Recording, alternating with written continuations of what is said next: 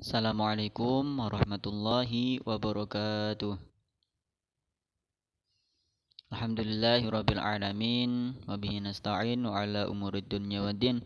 Salatu wassalamu ala asyrafil anbiya wa imamil mursalin sayyidina maulana Muhammadin wa ala alihi wa sahbihi ajma'in. Amma ba'd. Ayuhal asdiqa wal a'izza rahimakumullah yang saya banggakan, yang saya cintai, murid-murid teman-teman saya yang saya hormati, yang saya banggakan. Qabala nabda dirasatana Alangkah baiknya kita memulai pelajaran kali ini dengan bacaan basmalah. Semoga niat kita dalam belajar pertemuan pada kali ini dapat bermanfaat, dapat mendapatkan ridho Allah Subhanahu wa taala sehingga kita mendapatkan ilmu yang yang manfaat di dunia dunya akhirah. Amin amin Allahumma amin. Mari kita mulai pelajaran kali ini dengan bacaan basmalah bersama Bismillahirrahmanirrahim. Syukran. Sebelum kita belajar bersama mengenai pembelajaran bahasa Arab dengan tema Ra'sus Sanatil Hijriyati. Di sini kita akan uh, membacakan tentang tujuan pembelajaran pada pertemuan kita kali ini, yaitu yang pertama memahami kosakata yang dipelajari, yaitu kosakata yang berkaitan dengan tema Ra'sus Sanatil Hijriyati. Nanti kita akan tampilkan beberapa kosakata yang berkaitan dengan tema yaitu Raksus Sanatil Hijriyati. Nanti kita akan kita pelajari bersama, kita fahami bersama tentang kosakata tersebut. Yang kedua yaitu memahami struktur teks dan unsur kebahasaan berkaitan dengan tema Raksus Sanatil Hijriyati. Nanti ada beberapa ada teks yang akan kita analisis, kita belajar pelajari bersama tentang unsur kebahasaannya ada apa, kosakatanya ada apa, berkaitan dengan tema Ra'sus Sanadil Hijriyati. Yang ketiga yaitu mampu mendemonstrasikan tindak tutur yang menyatakan kejadian di masa lampau, yaitu kita akan nanti belajar tentang fi'il madi atau fi'il yang e, menyatakan kejadian yang sudah lampau. Yang keempat yaitu mampu menyajikan hasil analisis dari teks naratif sederhana berkaitan dengan tema Roksus Sanatil Hijriyati. Kita akan analisis bersama e, tema kita pada pertemuan kali ini. Selanjutnya yang pertama kita akan belajar tentang mufrodat atau kosakata. Nah, kita akan tampilkan beberapa kosakata yang berkaitan dengan tema kita. Ada taroka yatruku yang artinya meninggalkan. Waswala yaswilu yang artinya sampai. Mana ayam na'u artinya mencegah. Qatala yaqtulu artinya membunuh. Ini adalah beberapa kosakata yang berkaitan dengan tema kita, yaitu Rasul Sanatil Hijriyati, ada taroka yatruku, ada wasola yasilu, ada mana ayam na'u, ada kotala yaqtulu. Tentunya ada banyak sekali kosakata yang berkaitan dengan tema. Namun ada kita tampilkan beberapa saja karena mungkin tidak akan sampai nanti kita uh, pasti kita akan temui kosakata kosakata kosakata yang berkaitan dengan tema. Selanjutnya yang kedua yaitu tentang kiroah, tentang Roksus Sanatil Hijriyati. Nah, ini ada satu teks yang isinya menceritakan tentang tema kita, yaitu Roksus Sanatil Hijriyati. Di sini kita ambil teks dengan judul Sanatun Hijriyatun jadi datun. Artinya sama, tahun baru Hijriyah. Oke, kita akan belajar bersama. Kita akan membaca beberapa kalimat atau satu paragraf dari teks ini. Dari paragraf pertama ya. Al yaumu huwal awwalu min syahrin muharramin Al yaumu huwal awwalu min syahrin muharramin. Hari ini, hari ini adalah hari pertama di bulan Muharram. yaitu bulan-bulan pertama di tahun Hijriyah. Ya, hari ini adalah hari pertama atau hari awal dari bulan Muharram di tahun Hijriyah. Wal muslimuna yahtafiluna bisanatin hijriyatin jadidatin. Umat Islam memperingati tahun baru Hijriyah tahun baru iya oh memperingati tahun baru Hijriyah.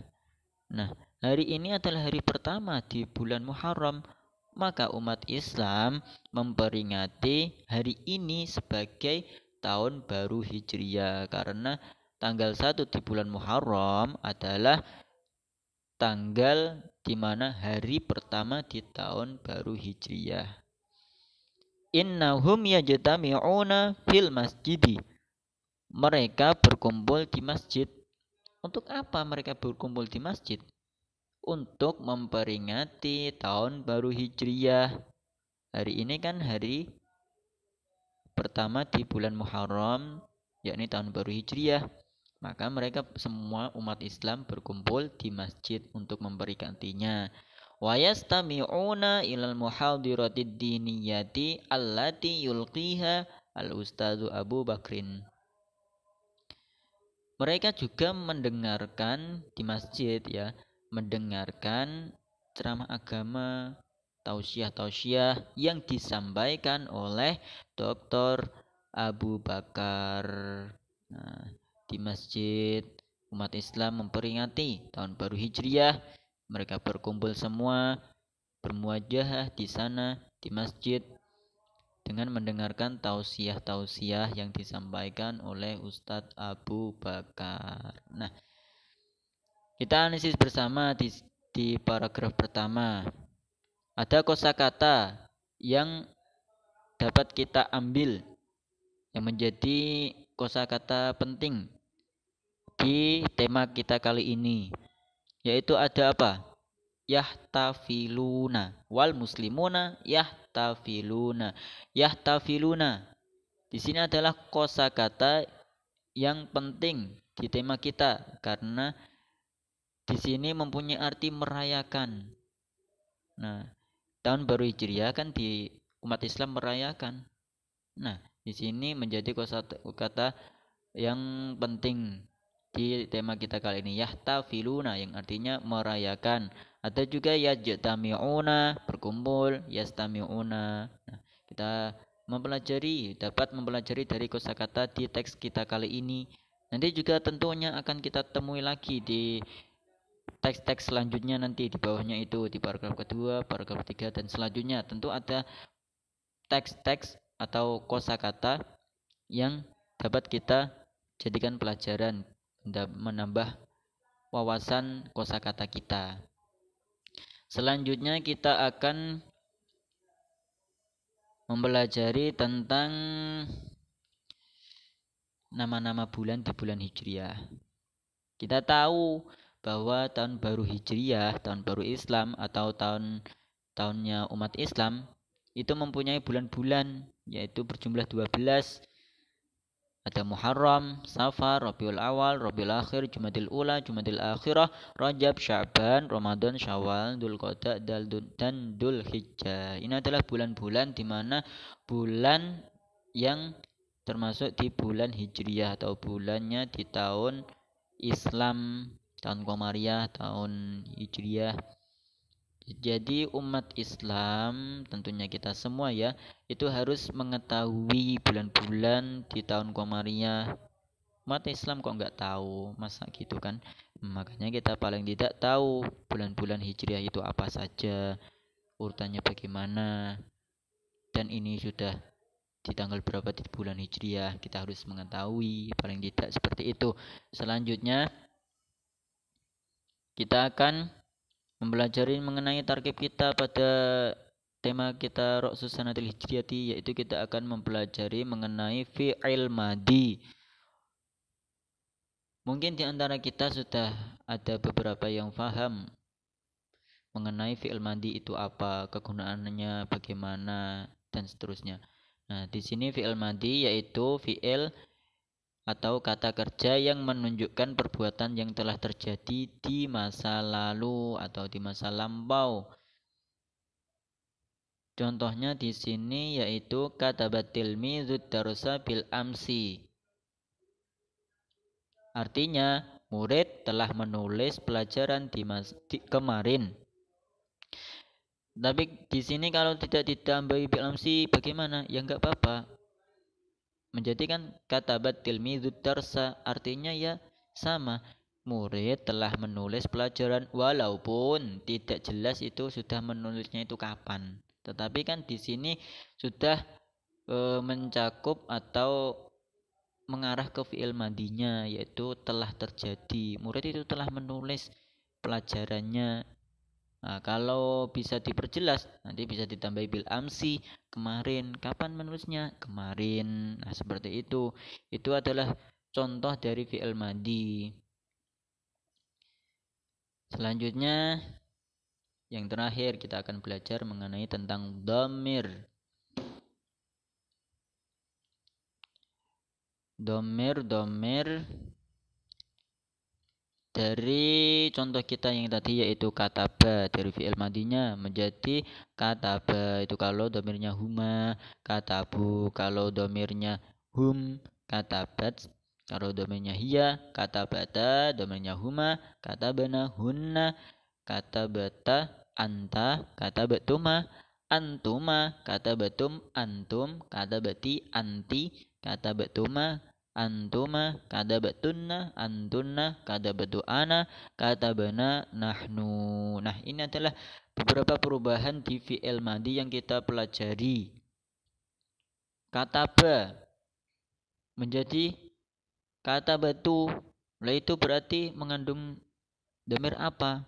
Ana. Nah nanti kita bisa menggunakan eh, contoh-contoh ini sesuai dengan kebutuhan kita apa yang akan kita eh, kerjakan tentang perubahan dari fi'il madinya nanti.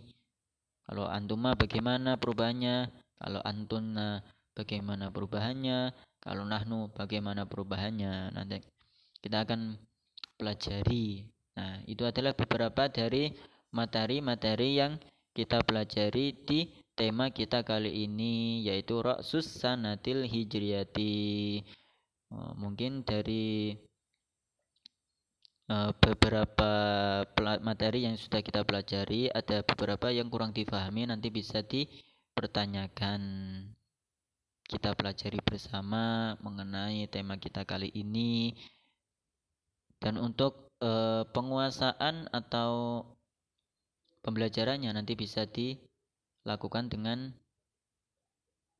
tes-tes atau mengisi-ngisi daftar-daftar soal-soal yang sudah ada di LKS-LKS seperti itu. Nah, nanti kita akan memahami bersama apa itu yang berkaitan dengan rok adalah hijriyati, bagaimana itu e, tentang domir-domainnya, targetnya, terus teks kirohannya kita analisisnya bagaimana nanti kita akan pelajari nah mungkin itu dari beberapa yang dapat kita sampaikan mari kita tutup pembelajaran kali ini dengan bacaan hamdalah bersama. Semoga apa yang telah kita pelajari dapat bermanfaat bagi kita semua. Fitinatul akhirah. Amin amin Allahumma amin. Mari kita tutup dengan bacaan hamdalah. Alhamdulillahirabbil alamin. Dari kami apabila ada salah dalam tutur kata, ada beberapa yang kurang dalam penyampaian, kita minta maaf yang sebesar-sebesarnya dari kami. Kami akhiri. Assalamualaikum warahmatullahi wabarakatuh.